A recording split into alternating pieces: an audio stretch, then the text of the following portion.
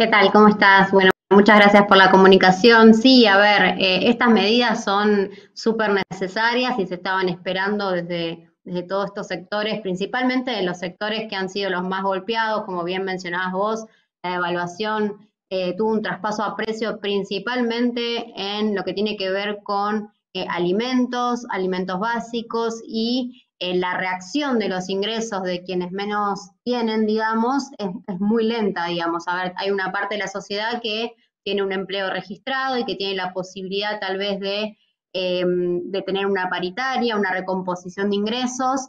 pero hay una informalidad que no siempre llega muy por detrás y eh, es importante entonces este tipo de medidas. Hay algunas de las medidas que se destacan más, como por ejemplo lo que tiene que ver con la devolución del IVA, creo yo que esa medida junto al bono que se anunció ayer, esa especie de IFE, le llaman algunos, ¿no? Lo que fue el IFE durante la pandemia, este, este, esta transferencia de ingresos a sectores que no tienen ningún tipo de asistencia del Estado, creo yo que es fundamental y va a tener un impacto eh, y sí, está muy bien lo que vos decís, es un impacto para compensar la pérdida que va a sufrir cada, presupuesto familiar luego del traspaso a precios de esta devaluación que, como indica el ministro Massa, es una devaluación que estuvo eh, fogoneada, incentivada por el Fondo Monetario Internacional, pero que el gobierno terminó de algún modo cediendo y avalando luego de las, eh, de las elecciones paso y por eso esta treintena de medidas que vienen, fueron por ahí, eh, a mí me hubiese gustado que hubiesen estado eh, en el mismo momento en que fue la evaluación, esa misma semana, pero la realidad es que fueron llegando semana tras semana y están intentando cubrir a eh, la mayor parte de la población, así que bueno, hay que celebrarlas en ese sentido. En la oposición, pero con la oposición nos referimos específicamente a tanto la Libertad Avanza como Juntos por el Cambio, lo que tratan de eh, oponerse a estas distintas medidas es porque supuestamente eh, alcanza eh, un, gasto del Estado importante y que generan un déficit. ¿Esto es así? ¿Qué, ¿Qué, representa para las arcas del Estado tomar este tipo de medidas, más allá de cada una es diferente, ¿no? porque hay algunas que son transitorias, eh, son específicas, y otras como la, eliminación de la cuarta categoría de ganancias, es un proyecto de ley que, va a largo plazo. Bueno, todas estas medidas fueron un poco anunciadas con sus costos fiscales asociados. Es cierto que van teniendo ciertos impactos en las arcas públicas, pero también es cierto que es necesario que el Estado salga a asistir cuando eh, se están poniendo en riesgo, digamos, eh, básicamente esto que vos hablabas al inicio, ¿no? Si tuvimos ese nivel de pobreza eh, en el primer semestre, donde todavía no había impactado la devaluación, sin todas estas medidas en el tercer trimestre probablemente ese número de pobreza iba a estar muy por encima y es lo que se está buscando de algún modo contener a los sectores eh, más vulnerables. Volviendo al tema de eh, la cuestión fiscal y principalmente eh, también si esto se traslada o no a precios, bueno, a ver, hubo también ayer una, un anuncio, ¿no?, de que ese bono de los 47 mil pesos, de dos veces 47 mil pesos para el sector informal, tiene asociado una fuente de financiamiento que es el adelantamiento del el impuesto a las ganancias en los eh, grandes contribuyentes, ¿no? Eh, y principalmente empresas, ¿no? Que van a hacer un adelanto de lo que deberían pagar el año que viene y de esa manera se va a financiar este bono en dos partes. Y también se han anunciado y van de la mano de proyectos em, de, devolución del IVA, por ejemplo, algunas fuentes de financiamiento previstas para que eh, el impacto en los digamos, en el recursos no sea sea tan importante y pueda sostenerse. Y además también tener en cuenta que cuando hablamos de estas medidas de recomposición de ingresos, la mayor parte, cuando está orientada a los sectores que menos tienen, a los trabajadores, a las trabajadoras, se vuelca eh, fuertemente al consumo y eso también hace girar la rueda de la economía y de esta manera también hace que se incremente la recaudación, así que por ese lado también podemos esperar que el impacto no sea tan importante en términos de déficit fiscal. Ahí mencionabas algo importante que abre eh, el debate sobre un sistema tributario, ¿no? que por ahí se puede poner en discusión eh, hacia adelante de una reforma de ese, sistema tributario de forma progresiva, ¿no? ¿Qué significa el IVA en esos términos? ¿no? Mencionabas esta medida tan importante, pero que tiene un plazo específico y que obviamente que, entendiendo que no se sabe cuál será la próxima eh, coalición que gobierne eh, el país, eso tendrá mucho que ver, pero bueno, ¿qué, eh, qué, qué disparador nos da para debatir un sistema tributario eh, progresivo, entendiendo qué significa ese IVA y qué significan otro tipo de impuestos que se le pueden aplicar a otros sectores de la sociedad.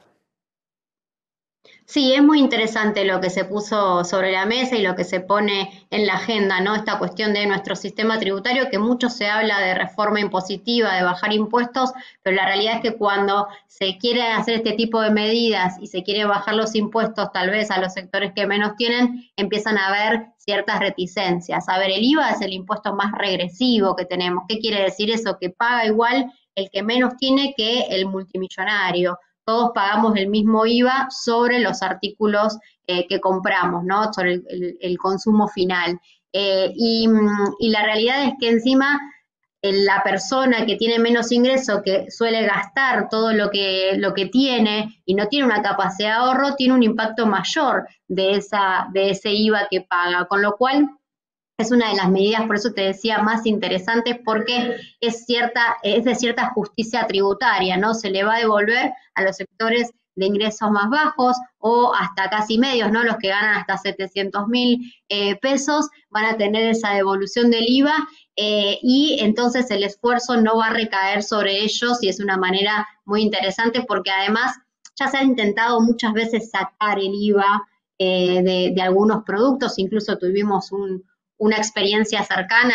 hacia fines del gobierno de, Mauricio Macri, que lo que vimos es que no funcionó porque eh, cuando, cuando el gobierno sacaba el IVA directamente de algunos productos o bajaba eh, el IVA en esos productos, lo que sucedía era que rápidamente eh, los empresarios, tras, digamos, se hacían, se comían esa, esa parte del, del impuesto, es decir, aumentaban los precios o mantenían los precios y se quedaban con ese, ese beneficio que eran para los consumidores. Acá la verdad es que fue muy creativo utilizar esta herramienta de devolución porque es una manera de que le llegue directamente a las personas que más necesitan a través de la devolución y es algo que también nos permite hoy la tecnología, ¿no? Y la bancarización principalmente, que estemos eh, más personas bancarizadas, casi la totalidad de la población tenga una tarjeta de débito, es fundamental para que este tipo de medidas pueda llegar a la persona que necesita y que no quede en la cadena, por ejemplo, a través de aumento de precios o la captación de ese, de ese, de ese beneficio a través de los de quienes tienen la, la posibilidad de fijar los precios, ¿no? Mencionabas también esta especie de IFE que se anunció en el día de ayer, un elemento importante, pero también nos hace acordar eh, a un debate que surge de las organizaciones sociales con respecto a un posible salario básico universal, ¿no? porque está en línea directamente con esta medida eh, y lo que nos queremos preguntar es si, eh, bueno, esto podría ser eh, viable, más allá de que es una decisión política, por supuesto, pero además, por fuera de esto, si económicamente es una decisión que podría ser viable y qué impactos podría tener en el caso de poder pensarse y aplicarse, que es una demanda que, bueno, de ciertos sectores ya lleva por lo menos dos años, ¿no? Sí, bueno, a ver, eh, la verdad es que estamos en un contexto muy crítico a nivel, eh, de, a nivel económico, macroeconómico en el país. Siempre estas medidas se pueden llevar a cabo, como vos decías, son decisiones políticas en última instancia y en todo caso hay que pensar de dónde vamos a obtener esos recursos. A ver, nosotros tuvimos experiencias como por ejemplo el impuesto a las grandes fortunas en un momento extraordinario, ¿no? Que eh, se llevó a cabo luego de la pandemia y se buscaba poder captar una renta extraordinaria que habían tenido ciertos sectores. Bueno, se pueden pensar en algún tipo de financiamiento para tipo de, medidas como el salario universal. También es importante poder eh, tener identificada la población eh, objetivo. En este caso, se lo que dice el gobierno es que este bono lo van a, van a poder acceder cerca de 3 millones de personas. Recordemos lo que fue la experiencia del IFE, que se había calculado cierta cantidad de personas y terminaron siendo casi 9 millones. Después empezó a cerrar un poco y uno, entonces el Estado tiene la capacidad también de segmentar y decir, bueno, las, verdaderamente las personas que no tienen ningún tipo de asistencia, tienen ningún tipo de trabajo registrado, que no tienen una jubilación, que no tienen un monotributo eh, a partir del cual se puede tener ese, ese ingreso, eh, bueno, vamos a atender la situación de esas personas. Yo creo que este tipo de medidas eh, deben barajarse, pero deben estudiarse y deben estar delineadas de una manera muy fina para poder atender y ser eficientes en ese sentido a la hora de atender las necesidades de verdaderamente quienes más lo necesitan, porque la realidad es que es un esfuerzo fiscal, que es una discusión válida y que, eh, digamos, puede, hay que darla también en el marco de esta responsabilidad también sobre las cuentas públicas. Bien, y te pregunto también por el salario mínimo, ¿no? Que hoy se estableció, mencionábamos un aumento de acá hasta diciembre en tres tramos. Y te pregunto también específicamente de, qué dependen las variables, más allá de que obviamente también una explicación política, de qué dependen las variables económicas de que ese salario mínimo se aumente en mayor o menor medida y, bueno, y, cuál sería eh, el impacto en el caso de que la decisión hubiese sido otra, como había centrales que proponían un aumento de más del 40%. Bueno, a ver, a la hora de fijar el salario mínimo, por supuesto, lo que se pone en juego es, en, esta situación de nuestro país tan inflacionario, es ver cuál fue el último momento y cuál fue la variación de, los precios o en función, mejor dicho, tal vez de la canasta eh, básica eh, alimentaria o la canasta básica total, que entiendo yo que es lo que se pone en discusión en esa mesa, donde termina siendo una negociación entre partes y donde también termina siendo una decisión política a la cual se llega y se, arriba a través de, estas partes que se ponen de acuerdo. Principalmente la variación de precios es la variable que más se tiene en cuenta en otros momentos donde por ahí la inflación era menor y el país estaba en una buena situación o estaba creciendo fuertemente, donde el empleo crecía, se, buscaba seguir manteniendo ese incremento en el salario mínimo vital y móvil como para que la porción de los trabajadores empiece a tener también mayor peso en la torta ¿no? de distribución del ingreso de la riqueza nacional. Yo creo que hoy en día se está intentando eh, al menos no seguir perdiendo contra la inflación. Vos marcabas muy bien cuál es la pérdida que ha tenido el salario mínimo vital y móvil, que además es una referencia para eh, el resto de, muchos sectores de trabajadores, por ejemplo, informales, eh, y además también es una pauta para ciertos programas como el potenciar trabajo, que también se valen de ese valor que tiene el salario mínimo vital y móvil, o sea que termina teniendo una fuerte repercusión a nivel de trabajadores y trabajadoras eh, también de la economía popular y también de la, economía informal, así que es importante que se mantenga ese ejercicio de incremento. Lamentablemente en el último tiempo ha sido el salario que más ha perdido